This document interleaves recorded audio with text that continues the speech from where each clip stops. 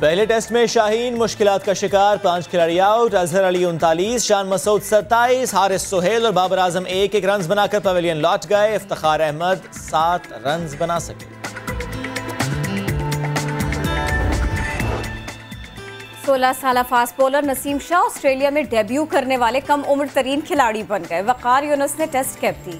والدہ کی یاد میں نسیم شاہ کی آنکھوں سے آنسو چھلک پڑے۔ گزشتہ ہفتے نسیم شاہ کی والدہ کا انتقال ہوا تھا۔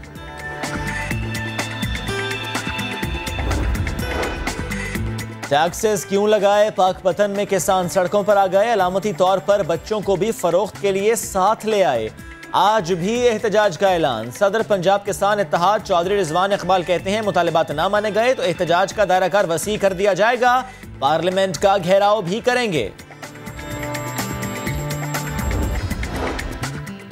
ملک کے بالائی علاقوں میں برف باری کا سلسلہ جاری۔ زیارت اور آس پاس بارش، پہاڑوں پر ہلکی برف باری ٹھنڈ میں اضافہ ہو گیا۔ پنجاب اور کے پی میں بارش کا امکان۔ بلوچستان کے مختلف علاقوں میں بارش اور جالہ باری ہوگی۔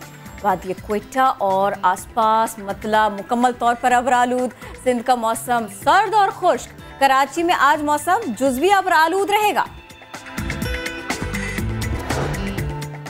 اقوام متحدہ کی جنرل اسمبلی میں پاکستان کی اہم کامیابی، حق خود ارادیت کی حمایت میں قرارداد منظور کر لی گئی۔ اکیاسی ممالک نے پاکستانی قرارداد کی حمایت کی۔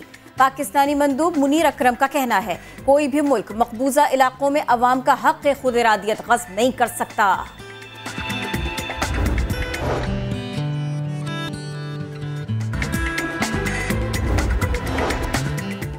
پہلے ٹیسٹ میں شاہین مشکلات کا شکار، پانچ کھلاڑی آؤٹ، اظہر علی انتالیس، شان مسعود ستائیس، حارث سہیل اور بابر اعظم ایک ایک رنز بنا کر پویلین لوٹ گئے۔ افتخار احمد سات رنز بنا سکے۔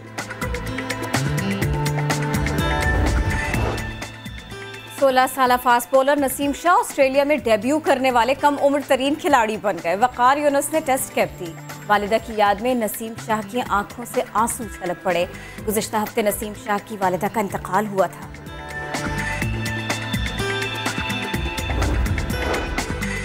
ٹیکسز کیوں لگائے؟ پاک پتن میں کسان سڑکوں پر آ گئے۔ علامتی طور پر بچوں کو بھی فروخت کے لیے ساتھ لے آئے۔ آج بھی احتجاج کا اعلان۔ صدر پنجاب کسان اتحاد چودھری رضوان اقبال کہتے ہیں، مطالبات نہ مانے گئے تو احتجاج کا دائرہ کار وسیع کر دیا جائے گا۔ پارلیمنٹ کا گھیراؤ بھی کریں گے۔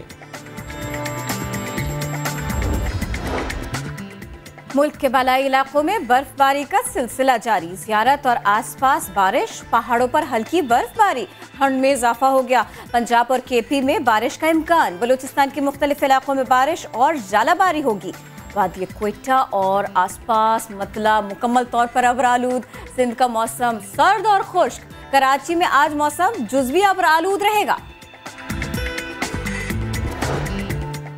اقوام متحدہ کی جنرل اسمبلی میں پاکستان کی اہم کامیابی، حق خود ارادیت کی حمایت میں قرارداد منظور کر لی گئی۔ اکیاسی ممالک نے پاکستانی قرارداد کی حمایت کی۔ پاکستانی مندوب منیر اکرم کا کہنا ہے، کوئی بھی ملک مقبوضہ علاقوں میں عوام کا حق خود ارادیت غصب نہیں کر سکتا۔